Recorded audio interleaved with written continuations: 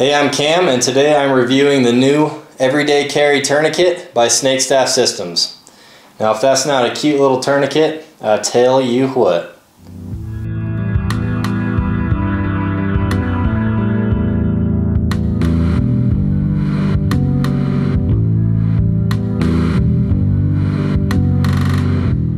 Alright guys, so I'm really pumped about this video. I've been very excited about this tourniquet. I finally got to get one in my hands. Uh, for those of you who are not aware, these have been very highly anticipated. Um, this product has not been out for a very long time, but uh, people have been going pretty nuts for them. Uh, I think they go on sale like once every week right now, Fridays at 12 p.m. and they're gone like in a minute or two. Uh, so I was lucky enough to get uh, one for myself and one for my buddy. So I'm just basically doing a very short uh, first impressions video today now that I actually have the product in my hand. And not only that, but this is going to be replacing the current uh, tourniquet that I wear every day on my little ankle kit here. So this is a ankle kit that I got from uh, Dark Angel Medical. And it is uh, comes with a soft T tourniquet. And we'll go ahead and look at the size difference. So I'm going to go ahead and put that uh, trauma kit there. I've got some other videos on that. I'll probably end up doing another updated video on what I actually carry in the uh, ankle kit and why that's important to me. But let's go ahead and look at a size comparison there. So uh, the soft T tourniquet is definitely a lot uh, heavier. It's bigger, it's wider, um, it's obviously less comfortable to wear, takes up more space on my little kit there. So this guy is going to be replacing it which is very exciting. I think this thing is really cool and it's got some really neat features. So for those of you who uh, aren't aware, so this is just how it came um, shipped from the factory. So I'm going to be figuring out the best way to stage it. I think they've got a couple videos on their site and on YouTube as far as that goes.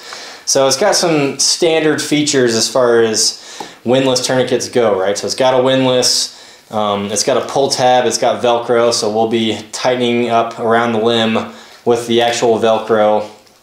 Um, I'm not going to be tightening the windlass in this video because it has a little chem light that breaks and activates when you actually turn it. Um, so since this is going to be going on my everyday carry, I don't want to be wasting that, if that makes sense. So once I'm able to get one or two more of these and use them as actual trainers, then I will be putting them to real use. Um, so the cat tourniquets, uh, the, these soft tourniquets just have a little clasp here to actually hold the windlass in place. The cat tourniquets have that little kind of clasp thing and they also have a piece of Velcro that goes over. But I really like this idea of a snap and lock um, carabiner. I think that was pretty brilliant on these guys' part. It's really easy and you don't have to, uh, all you gotta do is just push it in and, it's, and it locks right in, which is a really cool idea. And then you know it's not going anywhere.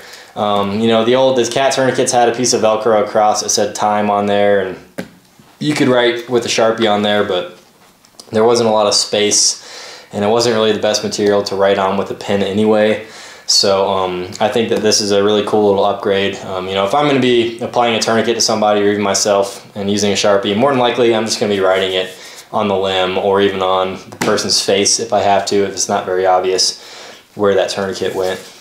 Uh, as far as you know the width goes, obviously this is a lot thinner. This is like an inch wide as opposed to this soft tourniquet which is anywhere from an inch and a half to up to two inches wide here um, where the actual you know windlass locks into place. So this guy's a lot bigger and even these soft tourniquets are still smaller than the cats. So I really like the size. I mean that really honestly is the biggest draw to this product.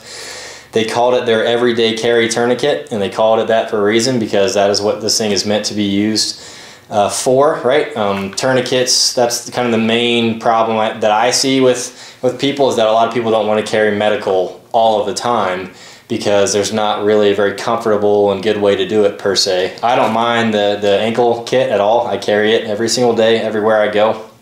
Um, but I think that this is an awesome improvement that is going to uh, have people be a lot more likely to want to carry medical on their person because this guy you can place anywhere, right? I mean, I can place this. These are my Vertx, uh, my Vertx Delta Stretch pants, and they have an awesome little pouch here where I keep my spare mag.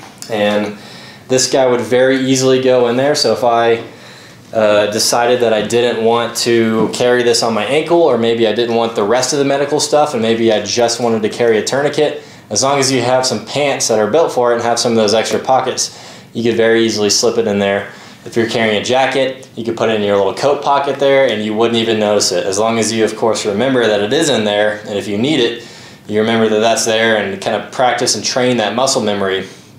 But there's something to be said about everyday carry and keeping things comfortable and not um, over encumbersome, right? So, so so far I really like the feature of this pro this product. I'm really excited to actually test it out and apply it to myself, feel the pressure, um, you know, all that cool stuff.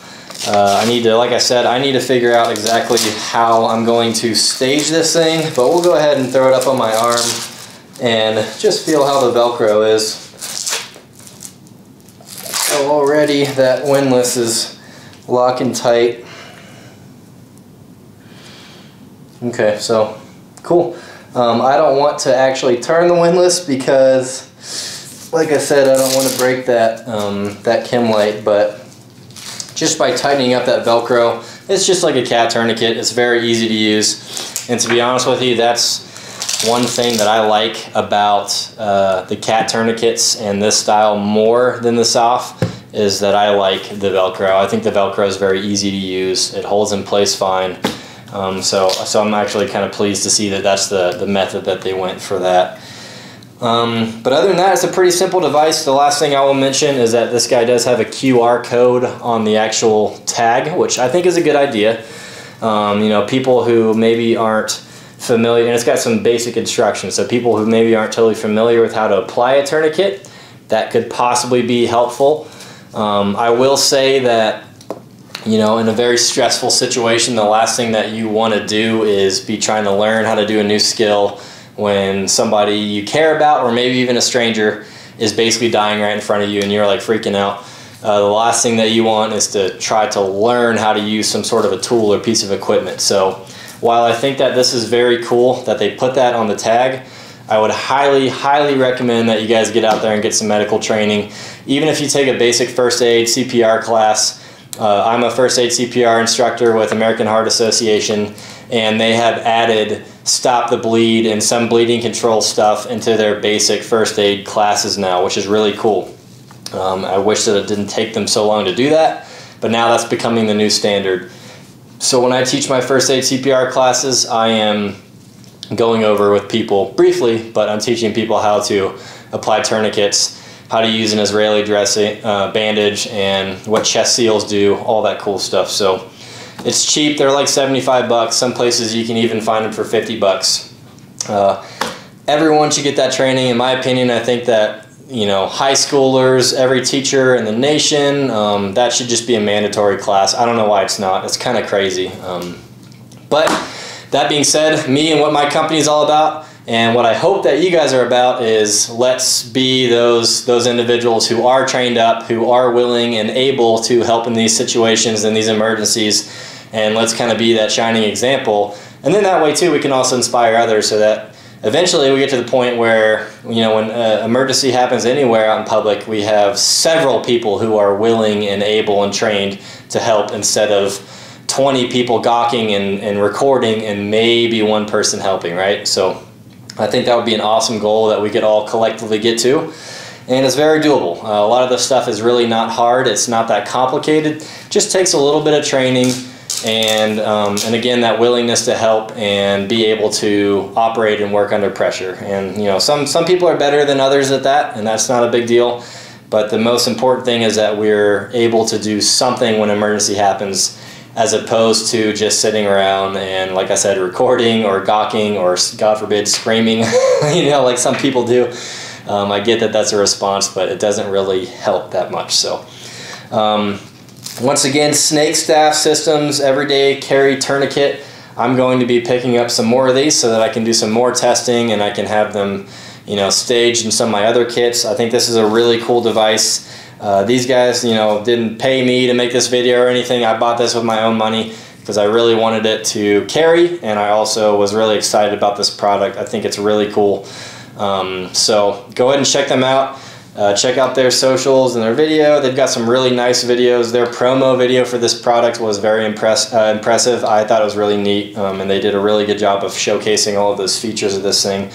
And like I said, at least right now, it looks like they're going on sale at uh, 12 p.m. on Fridays, uh, 12 p.m. Mountain Standard Time. Um, so go ahead and double check that and verify it. Don't take my word for it, but go ahead and snag you one. The best part is these are the same cost as a standard uh, tourniquet. These are like 35 bucks. Um, you know, if you get two of them, by the time they're, they're shipped, they're like 35 bucks each, which is very, very reasonable, um, which is really cool. And I think it's going to make you guys a lot more likely to want to carry this device, especially on your person, which is where we need it, right? Because if we have medical in our car and then we go inside to the grocery store and something happens where somebody cuts themselves accidentally and now they're bleeding out of one of their arteries, uh, I promise that you're not going to have time to go run out to your vehicle and grab that stuff and come back in.